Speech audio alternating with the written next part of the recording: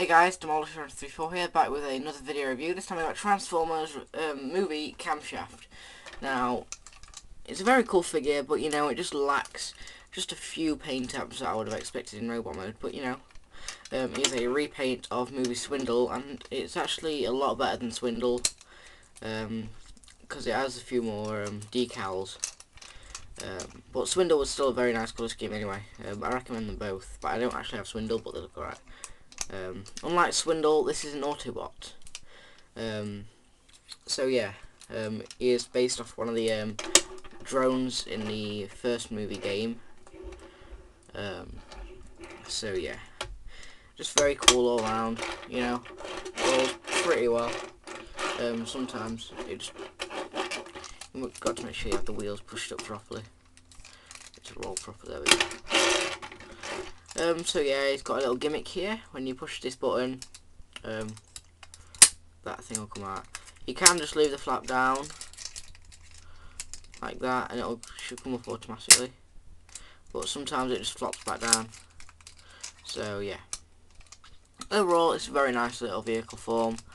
Um, so yeah, my only problem with it really is it's got like the little um, groove in there. So it like it's got like a dent in the windscreen so it goes down. Um, so yeah. Sometimes it goes alright sometimes it don't. So so to transform him it's relatively simple. You want to unpeg these doors and just lift out the arms here like that. Then you want to lift that piece up. You want to split these pieces here lift up the cannon. You want to then rotate the um, lower torso round like that because it is part of his torso because he doesn't have a waist really. Um, if he does it's just really really really small. Want to then slot the cannon in that falls down. Want to fold that piece down there. Like that now it's got a bit of, that's the automorph really. Flip out the hands here. And then we have camshaft in robot mode now you know the robot mode's fairly decent but um you know these pieces on the legs these windows have actually broken off on mine. So I had to super glue them into place so they can't move now. They're supposed to like fold in but you know it looks alright. Um so yeah. Um, because this is an Autobot drone, I would have preferred it to have a different head than the than the um, Deceptidrone um, head.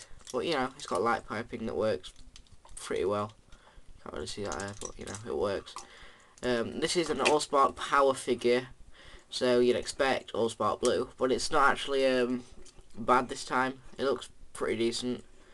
Um, it works. It's got a nice um, red Autobot symbol here.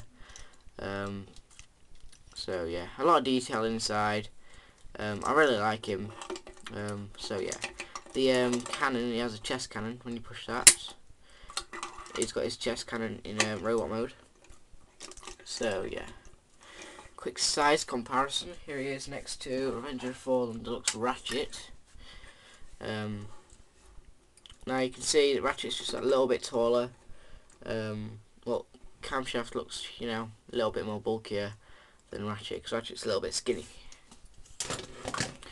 So yeah, overall I think it's a very nice figure. I recommend either him or Swindle, um, they're both pretty cool.